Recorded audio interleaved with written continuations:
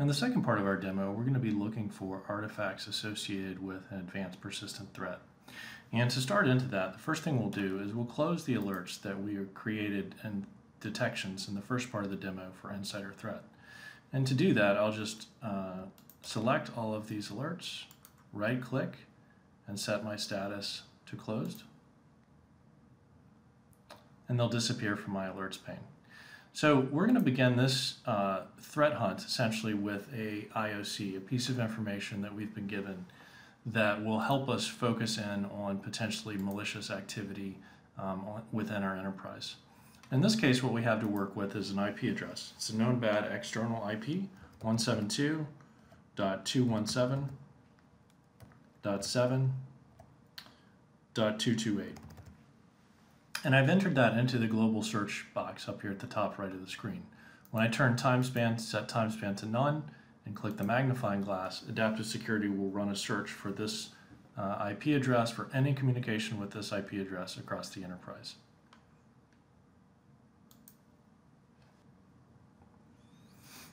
And what I can quickly see is that 172.217.7.228 has actually been contacted uh, a number of times by processes uh, within my monitored um, enterprise.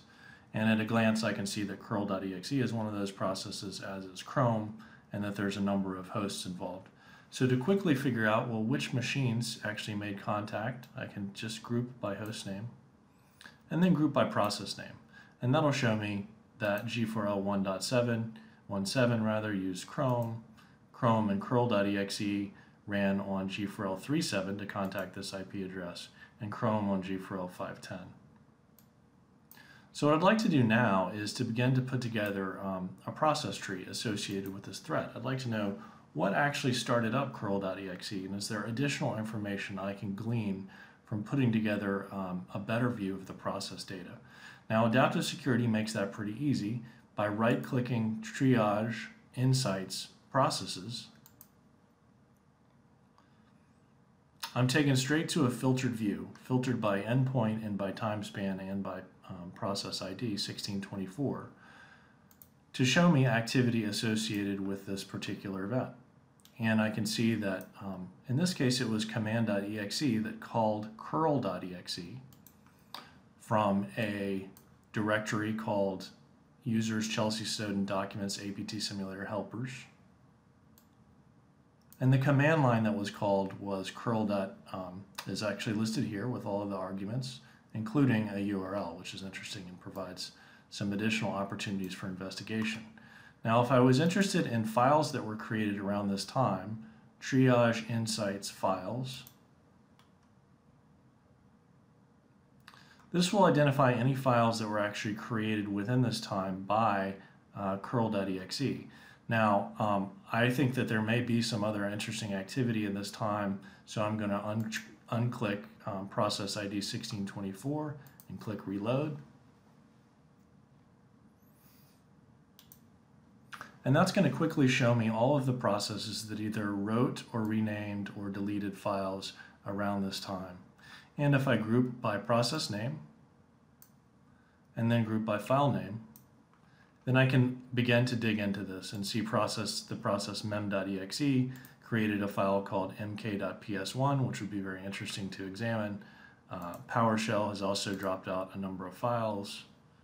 Um, procdump64 has created something interesting called somethingwindows.dmp. So this is another example um, of how you can hunt for advanced persistent threat artifacts uh, within the enterprise. Now detection of APT artifacts is also very easily possible in adaptive security. And to demonstrate that, I'm going to use something called APT Simulator, which is a tool that's often used to compare capabilities of EDR solutions.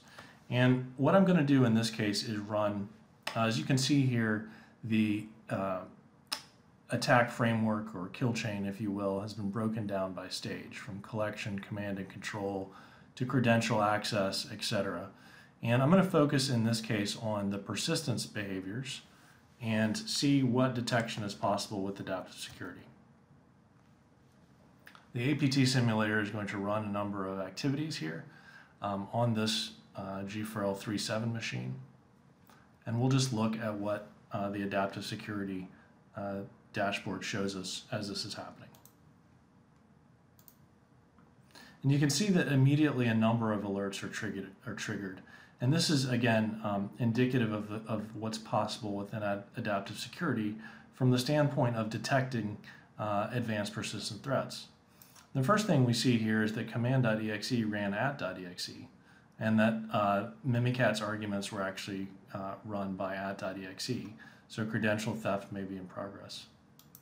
A job file was written to disk, uh, user was potentially spearphished because a tainted process attempted to spawn a shell program.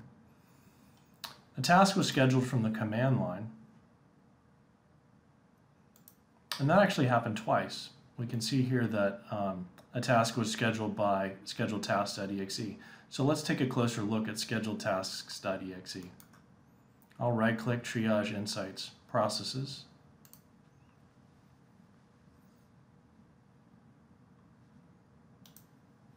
And here I can see that command.exe ran schedule tasks.exe, the path that it ran from, and then my command, my command line arguments. And I can see here that something called false update 22 is actually created uh, in this process. Now I can look for that um, again by right-clicking Insights Files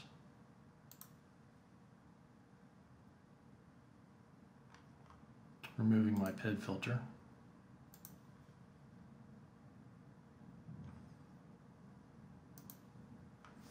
And just doing a search using Control F for false. And that's going to quickly reveal uh, this file name, false update 22, which appears to be a flash update that's been uh, obfuscated, and the path, the file path, and MD5 hash uh, of this file. And you can see that uh, a total of 15 different detections were executed uh, at this stage of persistence, covering everything from um, a tainted process attempting to spawn a shell to scheduling tasks from the command line um, to credential theft via Mimikatz. So uh, if you're still with me, thank you so much for watching to this point, and hopefully what we uh, what we showed you gives you a good example or some good examples of how adaptive security can be used for both insider threat detection and insider threat investigation, and then APT hunting and investigation as well.